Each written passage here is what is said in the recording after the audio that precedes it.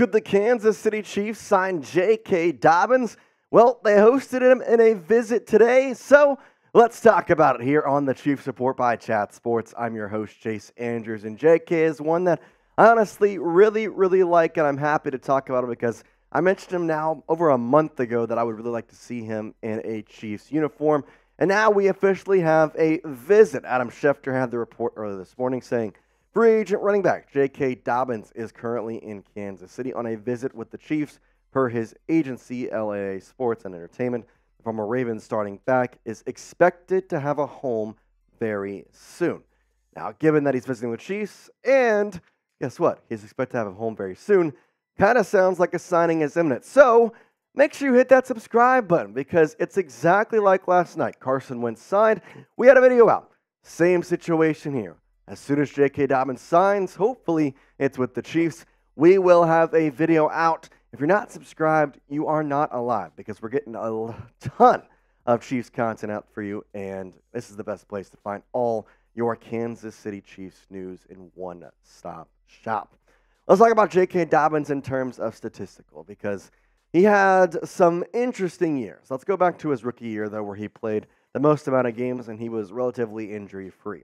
134 carries, 805 yards, 6 yards on the average, 9 touchdowns. Everybody thought this kid was special coming out of Ohio State, and I still think people still have that thought. But then tore his ACL in 2021 in the preseason, did not play. Still had some lingering issues in 2022, and then obviously this year immediately tore his Achilles in the first game against the Houston Texans, where he only had eight carries for 22 yards before having that injury. And now, guess what? He's a free agent, and people are worrisome of those injuries. But if there's a team that could sign him that could be a little less worried about it, it would be the Chiefs, because Isiah Pacheco is clearly the bell cow back at RB number one. Behind him, honestly don't know. Michael Perine and Eric Prince are not exactly an RB2, RB3 that I want to see. Keaontay Ingram, Hassan Hall are also on the roster. I expect those two to be practice squad guys, along with Louis Rees-Zammit. I feel as though he could be a practice squad guy as well. I, I, you know, struggle to find him finding a roster spot at least in the first year. Now, the reason that they don't have anybody is because they have two running back free agents this year. You talk about Clyde Edwards-Helaire, you talk about Jerick McKinnon.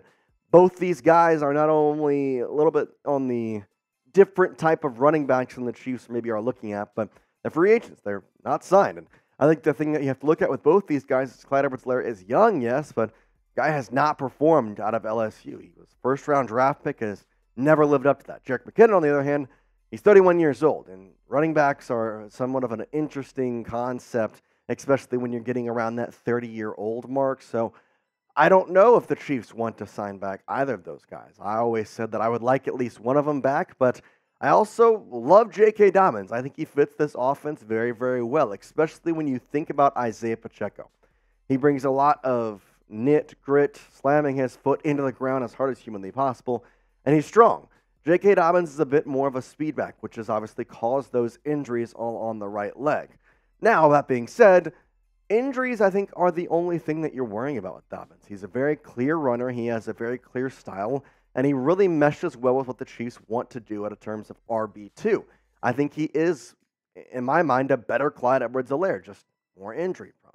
So I asked the question do you want the Chiefs to sign J.K. Dobbins, or is this somebody that you feel as though the Chiefs don't need to get? If you'd like to sign him, then you type Y for yes. If you would say no, let's not get him too many injuries for me. No reason to go out there and sign this guy. Well, then type in for no. I'll give you a quick second to answer that question. Injury history. Let's talk about it because I know I've mentioned it, but I haven't exactly put the two and two together, basically. Everybody always talks about J.K. Dobbins and says how dynamic of a back he is. However, I think the thing that everybody kind of sits here and talks about is his injuries from year to year have just been not great. Now, if we go back to his entire career here, back in 2016 in high school, he had a broken fibula in his senior year in the first game of the season. Fun fact, that game was then rained out, so it didn't even freaking matter. Played one drive. Uh, still, obviously, played at Ohio State, was relatively injury free, injury free throughout his time there. And then in 2021, he absolutely destroyed his right leg, tearing his ACL, LCL, and meniscus, uh, missing the entire 2021 season. And then in 2020, 2023, excuse me, he tore his Achilles tendon. That was obviously this past year, and that was in the first game.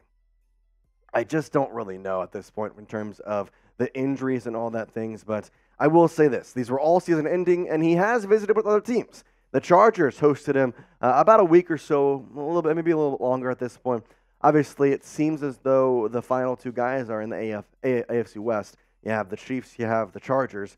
Who will sign him? Well, now it's just a waiting game. Given that we have the thought from Adam Schefter saying he'll have a home soon, I have to think that a signing will come within this week. With the NFL draft being almost three, uh, just about three weeks away now, teams are starting to have to make moves in terms of what they want to do in free agency and what they want to do before the NFL draft. All right, coming up on today's show, we're going to give you more info on Carson Wentz and the Chiefs signing him, along with a couple things that I like about him. Plus, I know you're looking for it. A Rashee Rice update will give you the latest on everything going on with his car crash situation and the latest in that. Before that, though, we got an amazing word from our sponsor, Gametime, a legendary legendary sports app. They've got ticketing for a lot of different things. They have comedy, music, theater, and they know that you shouldn't have to worry about buying tickets to your next big event.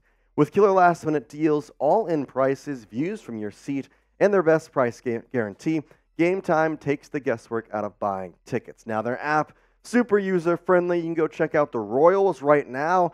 And with the code CHATSPORTS, you're going to get $20 off your first purchase that's enough for a couple tickets this week as they're taking on the White Sox. And hey, Kauffman Stadium, not too many years left. Obviously, the new stadium is exciting, it's great, but Kauffman is a beauty of a stadium with a fountain in center field, so go check it out. Again, you can use code CHATSPORTS for $20 off.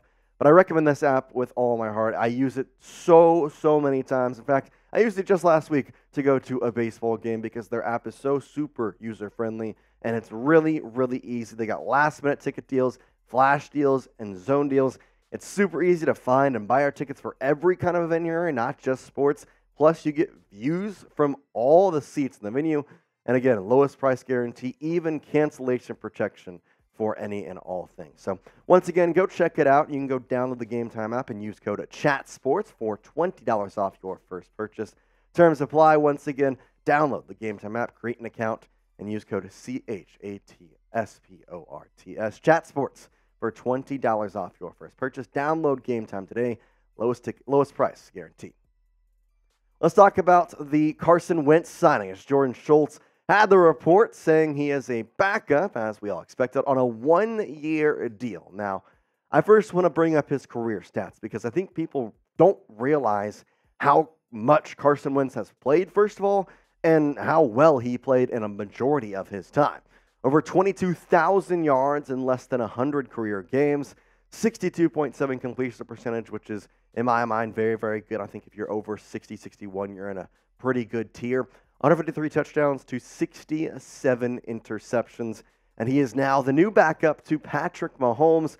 And as somebody that I honestly really like, did not play last year, but interestingly enough, Charles Goldman with this Carson Wentz regular season record 47, 45, and 1. Chad Henne, Matt Moore, and Blaine Gabbert, the other backups that the Chiefs have had in the past couple years, their combined regular season record 48 and 87. Yikes.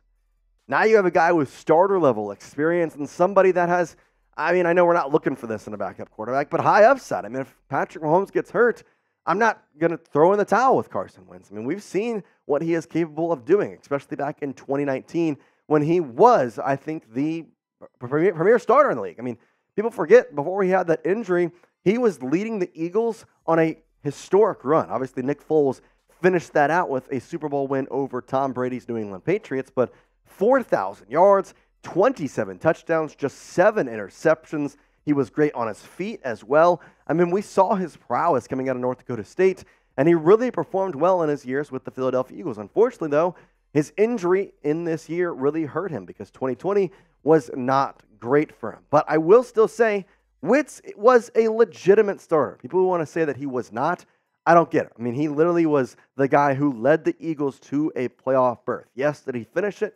No. But at the same time, he was the one who got them there.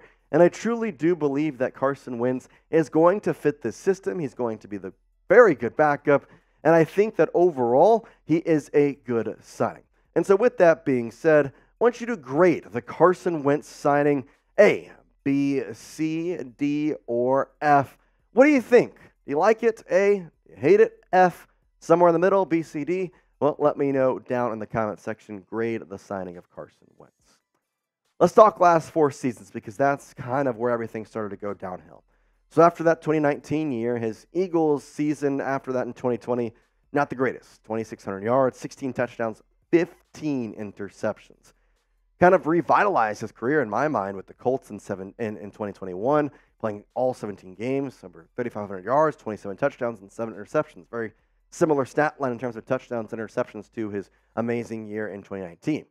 Then played with the Commanders. It just never worked out there. Again, the interceptions became problems. And then last year, he spent a majority of the year on his couch before signing with the Los Angeles Rams and becoming Matt Stafford's backup at the very back end of the season. Did play in two games, had 163 yards, two touchdowns, and one interception. This is a great backup. I know that that's not the role that he has played in his career until last year, and it was only for a short time as the back half of the season. But he's somebody with starter level experience. He's somebody who I think I could rely on in a lot of different situations.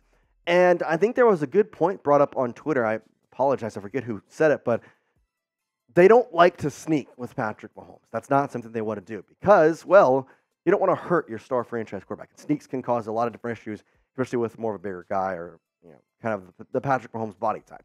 Well, Carson Wentz could easily do that. And so, say you're in a fourth and one situation, or uh, uh, whatever.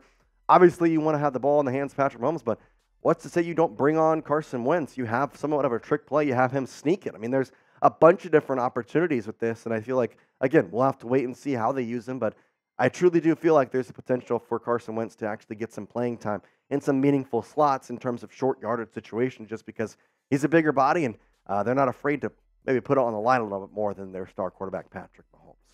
Let's talk about Rashee Rice because we do have somewhat of an update on him, although not too much. And obviously, as this situation unfolds, we will continue to get updates every single time we hear it right here. I uh, want to kind of give you a baseline of situation if you missed it yesterday. Rashee Rice is wanted by Dallas police after being suspected of causing a six vehicle accident.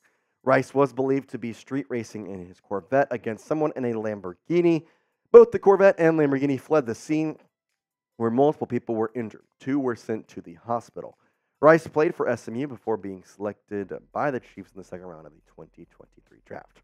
So that's kind of the basis of the situation. Uh, he is now complying with the Dallas police and I released a statement yesterday, but Adam Schefter had this this morning saying that the NFL spokesperson uh, said this morning that the league is monitoring the situation of Chiefs wide receiver Rashee Rice. And so, with that, obviously there's potential for a bunch of different things. But for now, we can't speculate. We just have to wait. Obviously, I know that stinks because we want information now. We're human. We want to know what's going to happen, what's going on. Will he play? Is he going to have a suspension?